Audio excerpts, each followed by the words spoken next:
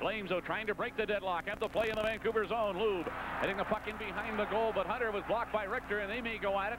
They get sticks up a little high, and now they drop their sticks and gloves. Richter against Tim Hunter. A couple of big fellows and a couple of good fighters. They spar around, waiting to see who's going to throw the first punch. Hunter flicks a jab.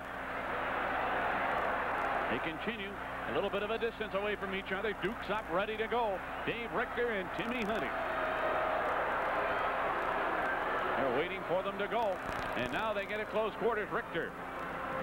Hitting Hunter against the boards. Now Hunter wiggles free, and Hunter starting to throw a couple of lefts at the Vancouver player. Now they're at close quarters, grabbing each other, Richter and Hunter.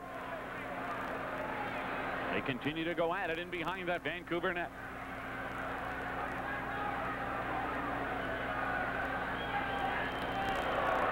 Hunter getting a punch in there. Now he gets another one in. Now another.